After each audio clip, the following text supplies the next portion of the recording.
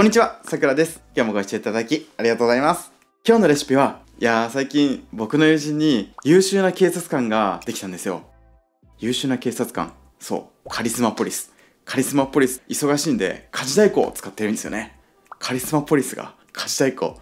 カリスマポリス、家事代行。カリポリ代行。そうです今日のレシピは手軽に漬物が作れるカリポリ大根のレシピです今回のレシピでは大根の切り方から加熱時間まで何度も研究を重ねたんです。しっかりと加熱をして水分抜いたり塩もみをして水分抜いたりもちろん生でも漬けてみたりしました。そうやっていろんな調理法を試した結果程よい食感を保ちつつこのしっかり味の染みたカリポリ大根これにたどり着いたんです。特にこだわったのがレンジでちょこっとだけ加熱をすること。え漬物なのに加熱するの？って思いますよね。でもこのちょこっとだけ加熱をするのが生で食べるのともしっかり火を通すのも違う絶妙な食感になるんです。しかもこのレシピ切り方とこの加熱時間これだけ守ってもらえれば失敗しなくとっても簡単なレシピなんでね。ぜひ試していただけると嬉しいです。それではカリスマポリスがお届けするカリポリ大根早速調理スタート！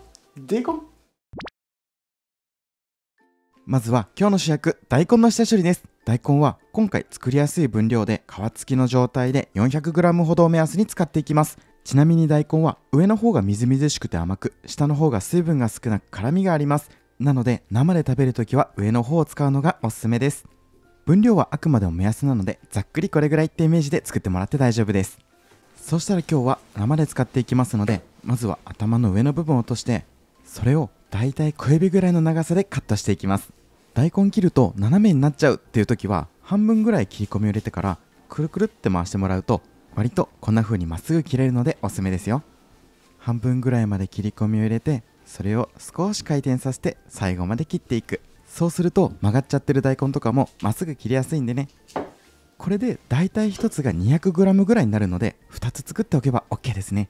もし多かったり少なかったりすればこの後の調味料少しずつ調節すればいいだけなんでね。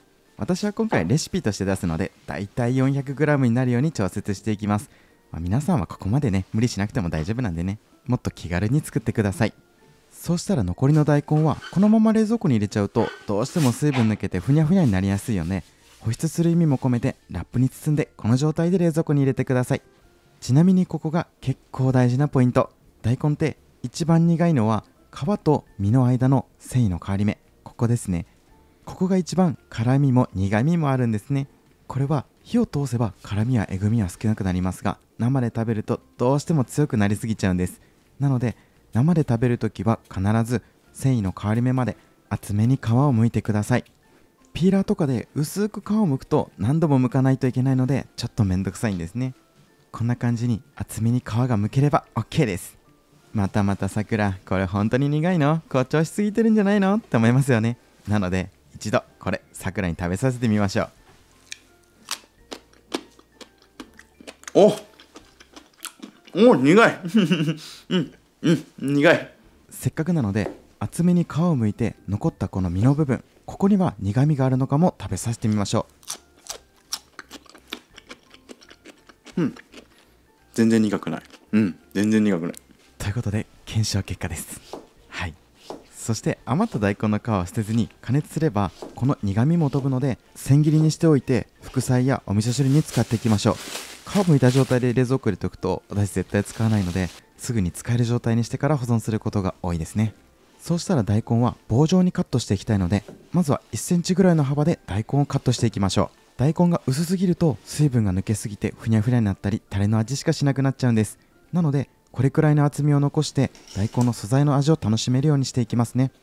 そしたら今縦に切り込みを入れて 1cm 幅にしていったので今度はこれをくるっと横にして横からもですね 1cm ぐらいの幅でカットして棒状に仕上げていきましょう。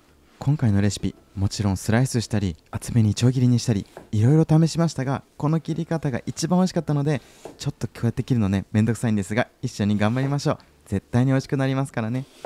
切るときはゆっくりでいいんでねサイズを揃えることを意識してみてください。ちなみにこれ余談なんですが皆さん買い物って何で行くこと多いですか？私は普段自転車で行くことが多いんですね。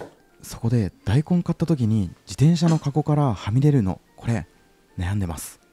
はい悩んでます。カットができた大根は耐熱容器の上に平たく並べてください。平たく並べる。これも今日のポイントですからね。全部平たく並べたらふわっとラップをかけてこのまま 600W のレンジで1分半チンをします。そうするとおいおいさくらレンジでチンしたらふにゃふにゃになって煮物みたいになるじゃないか。いくら時短だからってもったいないんじゃないの？って思いますよね。でもこの1分半っていう時間が生でもなくくたっとするわけでもない絶妙な食感になるのでぜひ試してみてください。それではレンジで加熱してる間にちょっとだけお知らせをさせてください。現在使うほどに愛着が湧く商品こちらをテーマにキッチンブランドサクラスを運営しております。下処理が時短になる利き手の代わりになるトングや見た目もスタイリッシュで高品質な長く使えるフライパン。11月末に新発売の長く伝える両手鍋。それから長く使える片手鍋。こちらですね。それから素材にこだわって作った切り心地の良いまな板。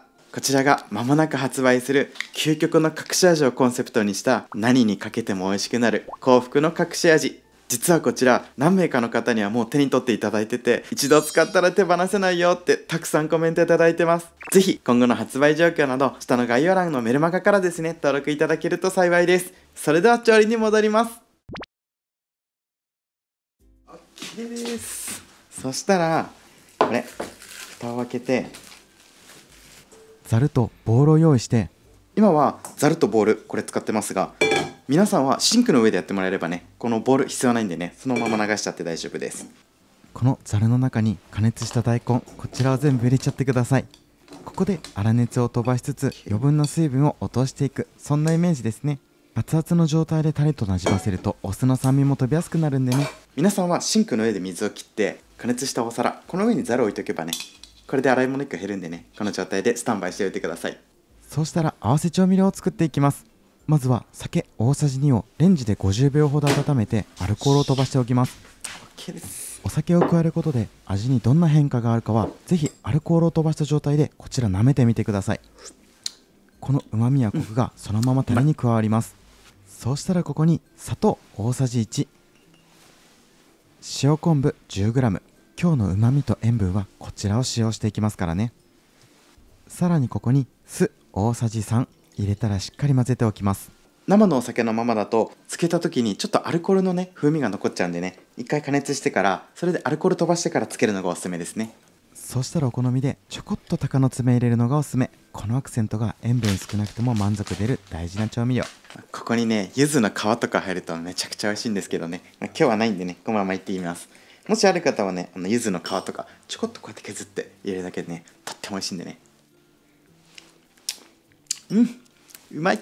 ここまで来たらポリ袋を用意して。この中に大根こちらを水気をもう一回切って落ちてこないかなって。切ってから入れてください。よ。まだねちょっとぬるいぐらいなんですけど全然大丈夫です。熱々のままタレと合わせちゃうとお酢の酸味も飛んじゃうしなおかつ余分な水分も入っちゃうんでねちょっと粗熱飛ばす方がしっかり味しみます。それから今作ったタレを加えてしっかりと全体になじませていきます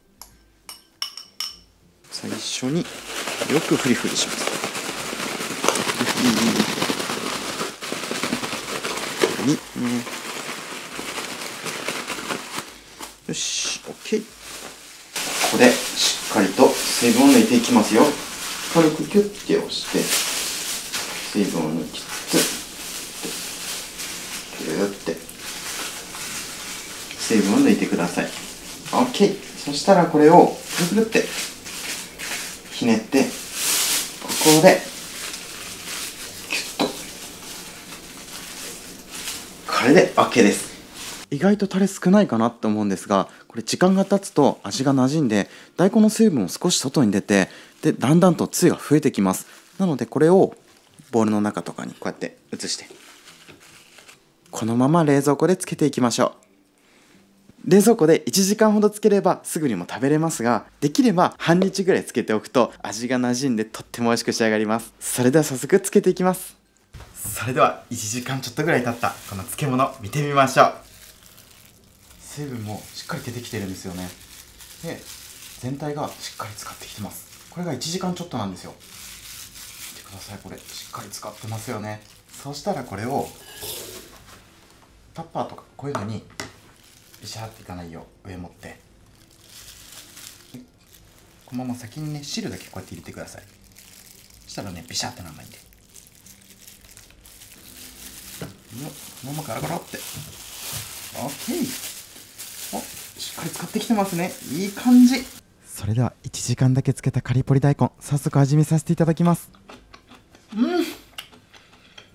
ん。まっこの食感が絶妙ちなみに1日経ったのがこちら。見てください。しっかり使ってて美味しそうですよね。味見させていただきます。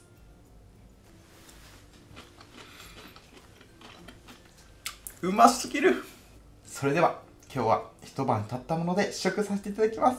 袋のまま一晩つけておくと浸透圧の効果もあって大根からちょっとずつさらに水分出てきます。その水分でタレが薄くなっていくのでタレの水分これぐらいでもね十分使ってくるんでね。それではいただきます。